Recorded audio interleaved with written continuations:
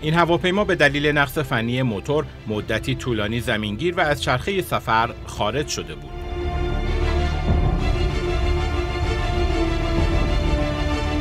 تعداد 206 قطعه تعویزی داشت. این موتور تقریبا همش باز و بسته میشه. یعنی از قسمت فنش تا قسمت کمپرسورش و قسمت توربینش تمام اکسسریاش تمام اینا ریز به ریز باز میشه.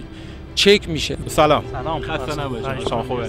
تشکر. مشغول تعمیرات هستین بله این هواپیما overhaul انجام شده روش تموم شده و الان مرحله است که در حقیقت در اختیار line یا خط پرواز قرار می‌گیره. اون عرقی که آدم به کشورش داره و دوست داره نتیجه کارش رو ببینه اون باعث میشه که سختی ها همه آسون بشه و بتونیم کارمون رو انجام بدیم. مسئول این بازدید brake ا و تایر رو اینا هستیم. ببینیم میزان pressure چقدره. این عملیات باید گام به گام مطابق اسناد و دستورالعملهای شرکت سازنده باشه تا مجوز پرواز آزمایشی و در نهایت مجوز حمل مسافر اون صادر بشه.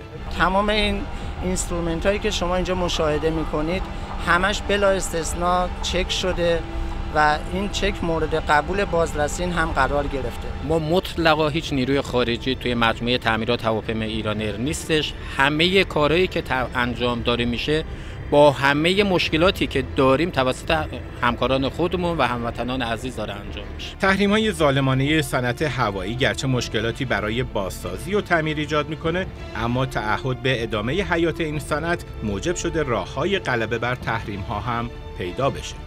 الحمدلله هر طریقی که بوده ما منابعمون رو تونستیم تهیه کنیم و به هیچ وجه از هیچ نوع استاندارد بین المللی تا به امروز نه وایلیت کردیم نه تخطی کردیم و این رو ما نمیگیم. تمام اونهایی که ما رو آدید کردن به این قضیه اذعان دارن. ایرباس هما عمری دوباره یافته و تا 6 سال آینده در هر پرواز 278 مسافر رو جابجا می‌کنه.